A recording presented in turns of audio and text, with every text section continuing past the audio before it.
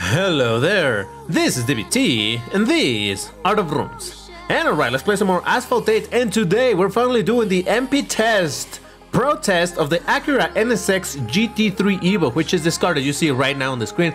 Oh, what a beauty it is. Now, this is a surprisingly topical video to make because you know that right now there's a car hunt going for this car. And of course, I had to go premium in order to get the car quickly and spend about 7 million fusion coins and a ton of parts in order to upgrade it because I love you guys so much and I was willing to do that. I'm kidding! I didn't do that. I actually already own this car because, you know, I got it when it was actually on a good sale.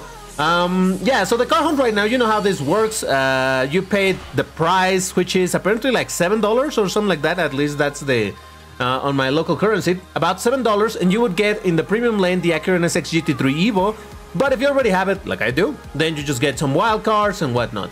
So, is it a good idea to pay $7 for this for this car? I honestly don't think so, but we're at least gonna test it in multiplayer and see how it does.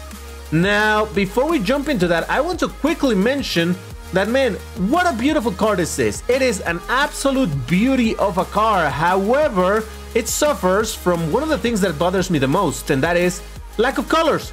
There's no colors. You can only drive this car in black.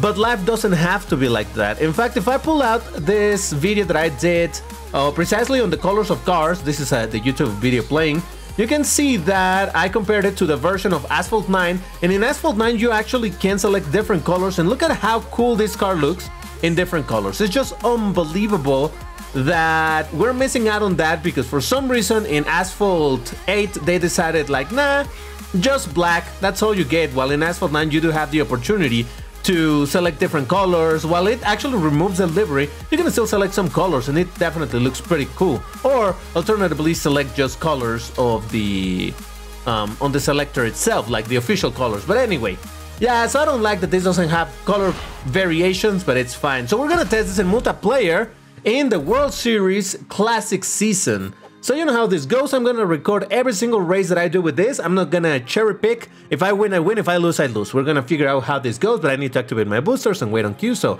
I'll save you watching all of that.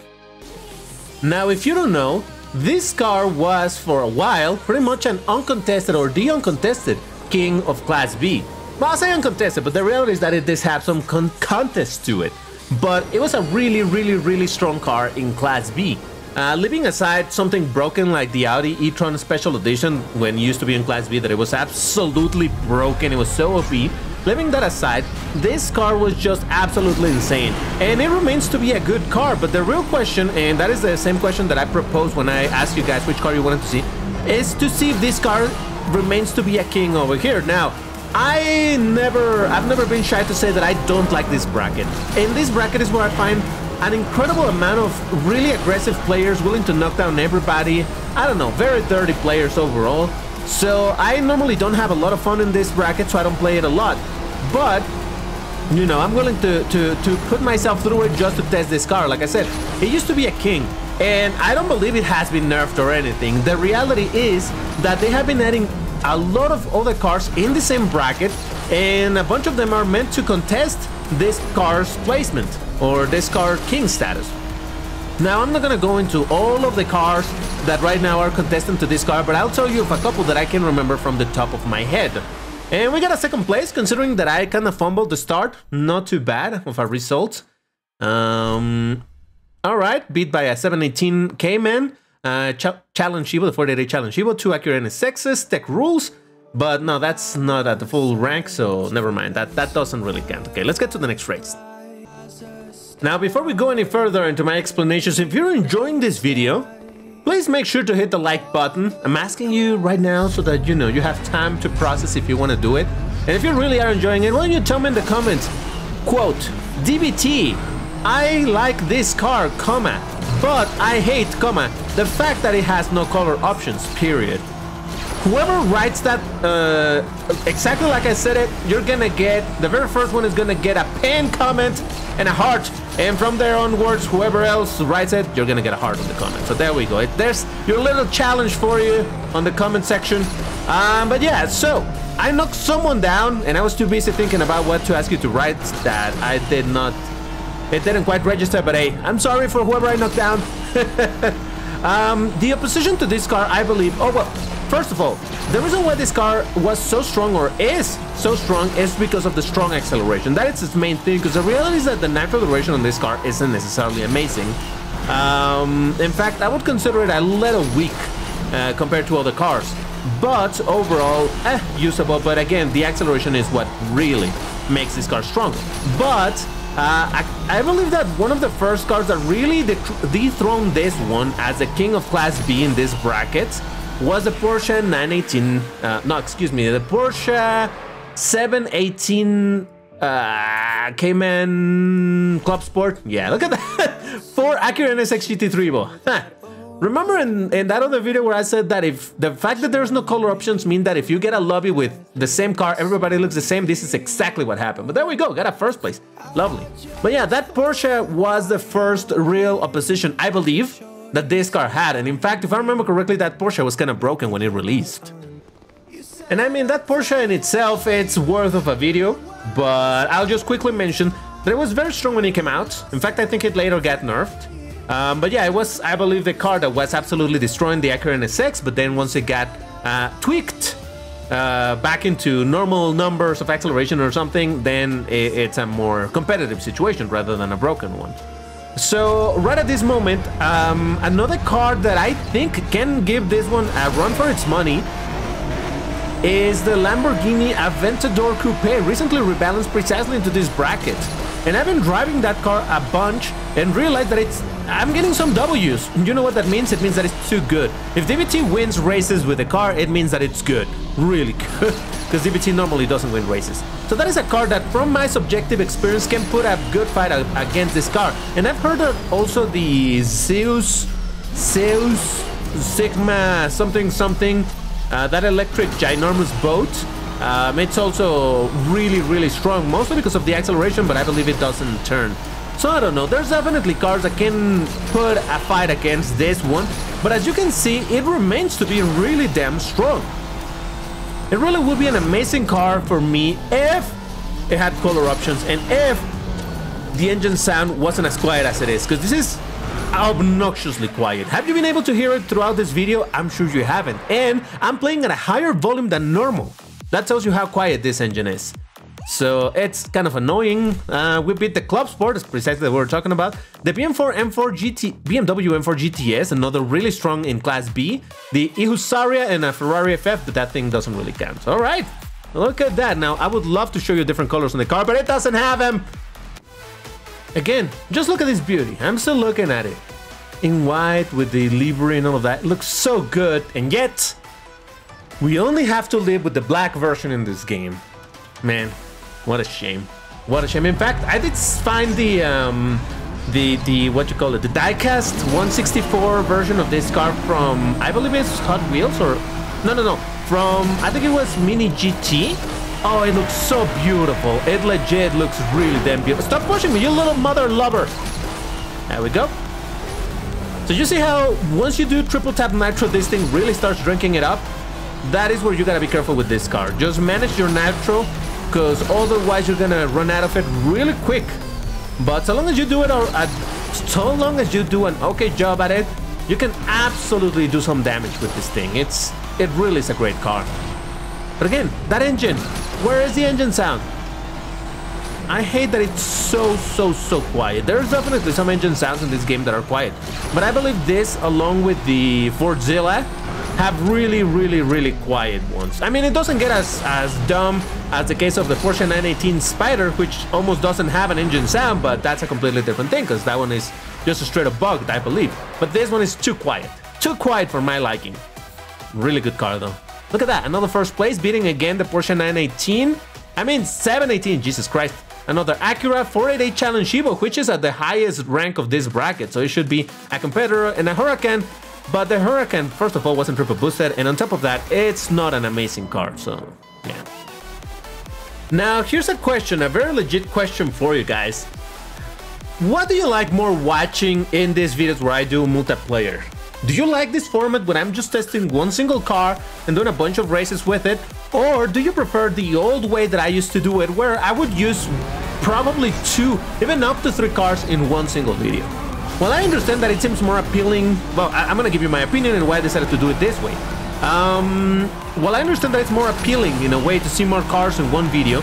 I like doing doing it this way because on doing several races with the same car, it allows me to get used to how the car drives and perhaps do the best that I possibly can with my limited skills uh, on driving it. Whereas if I'm constantly changing the car, I am switching on how the car feels. Oh, this car drifts better. Oh, this car is about that. Oh, this car is about that. So I think it's a less focused experience. So I'm really curious to know which one do you prefer? Do you do you like seeing one focused test of one car, or do you like the randomness of ah whatever DBT decides to drive in that particular video? I don't know. I'm really curious to hear what you guys think about it because I really like this format. But you know, I started thinking, hey, what if what if you guys actually like it in a different way? I'm not sure. So there's your question for the day. Tell me in the comments which one do you prefer.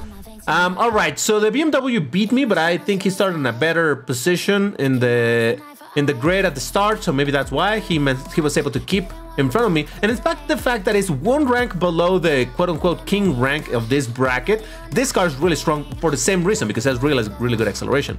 Then we got a Ferrari, GTA Spano, another GT3 Evo, the W12 but not triple boosted, Challenge Evo, and this guy disconnected. All right, that's fine. And remember, you can always see the race counter. I try to always show the race counter um, precisely so that you see that I'm not skipping races. Now, my boosters are running out, but because I already queued up, they will still be good for one last race, even if by now it shows as empty. If I were to leave the room and rejoin, then obviously by the time I queued up, the, the boosters were already out, so that wouldn't count. But for now, we're safe. Oh boy, oh boy, we got a pretty full lobby. It's 11 players total, so... Uh-oh.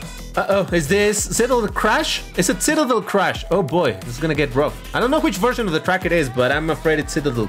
Citadel Crash. Is it? Is it? It is not. Okay, good. No, wait. It is not. Cool, cool, cool. I totally knew it. Totally knew it. I wasn't panicking. You were panicking. Oh, wow. Is that a speed trick or something? Do people make that jump in order to get some airspeed? I have no idea. Don't push me, buddy. Don't push me. All right, at least I didn't wreck. But I did spend a lot of my nitro on trying to recover some speed right there. No problema. Oh, whoa, what happened with them? You know what? Don't ask questions. Just live in the moment. Yeah! First place. Let's see if we can keep it. So far, so good. I hear something right behind me. And again, I don't like using triple tap, so I have to switch to perfect nitro from time to time to try to save some of the nitro. I am a little bit too conservative with my nitro usage, but what can I say? I guess I'm a hoarder or something, I don't know. Now, the drift on this car is also really, really strong. That's something else that I haven't talked about. The handling is good, the drifting is really good. I mean, not extremely sharp where it's uncontrollable. It's that level of good where it's comfortable not like, oh my god, I'm crashing on the inside of the turns because it's so sharp. So it's it's good. It's good. I like it. And we got another first place in, in spite of the fact that it was a really full lobby. We beat a Ferrari 488 Challenge Evo, a GT3 Evo, La Ferrari, BMW, a Huayra. Okay, that's interesting. Uh, 570S, uh, Volkswagen W12, GTA Hispano, La Ferrari, and a Monza, but that one disconnected. Alright, I feel like the Monza could have given me quite a, quite a bit of a fight. I hear that that's a really good... Ah! My boosters! My boosters! I hear that the Monza is a really good car, um, but I wouldn't know, because I don't have it, and I don't care for it. I don't like the Ferraris, excuse me. And on top of that, it does it, it, it has everything that I don't like. It, or rather, it doesn't have the things that I would like it to have, meaning a windshield, maybe a roof, just saying. All right, let me activate some more boosters and do some more races to finish this video. Now, this time I'm not gonna ask you which... Oh, this is the new... Um, is that the Aguila Negra um, goodie? I'm not sure. I'm not gonna ask you which car you wanna see next because the very next video where I do an MP test, it's gonna be of the car that I promised I would, and that is the but they always... Oh, no, no, no, I messed it up, I messed it up. Jesus Christ. We're fine, we're fine. It's a, it's an alternate route. I totally know what I'm doing. Um, of the Faraday. Excuse me. Ah, you mother... Enjoyer. of the Faraday. Jesus. I've been pronouncing it as Faraday. I like more how it sounds as Faraday as opposed to Faraday. And I even looked it up, and apparently it's a British. It was a British person, so yeah, the pronunciation should be Faraday, but I don't like it anyway. Um, it's gonna be for that car, cause I remember I recently proed it, basically ultimate upgraded it. Well, I did that precisely to add it to, to well, first of all, to give you an opportunity to, to make me suffer, but also to try it out in Gauntlet, which I have yet to do, and for uh, MP test, but I've not had the chance to do it in Classic Season, which is where it matters most. So I'm gonna do that, but after that, we will come back to deciding which cars we're gonna be trying it out with. All right, so in this one, things went wrong because I got knocked down. It's fine, whatever. We let's pretend this race didn't happen. Let's cherry pick it and not record it totally. Apparently, I do better when there's more races in the race. the previous one had like five people and I lost. This one has four people, so I'll probably lose again. Although I am almost at the front. No, I'm at the back. Never mind. No, I'm at the front. What? I thought I was at the back. It don't matter. If I can win this race, I will be happy. Very, very happy. And don't don't close the video just yet, even if you think that it's finishing, because I have